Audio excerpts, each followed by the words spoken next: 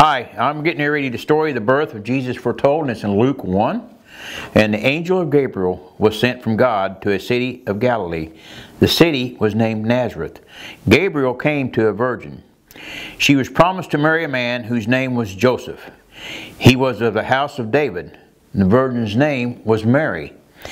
The angel said, Greetings, O favored one, the Lord is with you. But Mary was troubled at the saying. She did not understand what sort of greeting this might be. The angel said to her, Do not be afraid, Mary, for you have found favor with God. Behold, you will conceive and have a son, and you shall call him his name Jesus, and he will be great.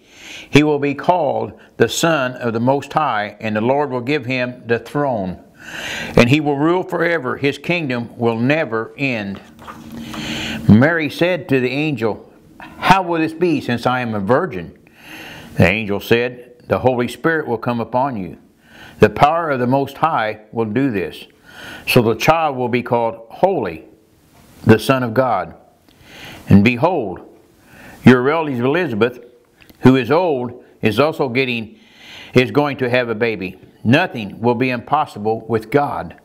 And Mary said, Behold, I am the servant of the Lord. Let it be done accordingly to your word. And then the angel left.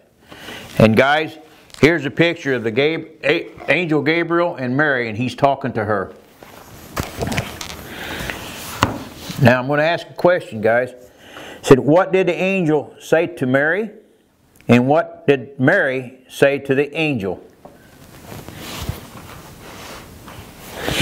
Now let's pray. Put your hands together, your head down, and your eyes closed, please.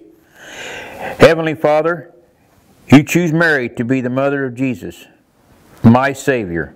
Thank you for choosing me to be your child. Amen.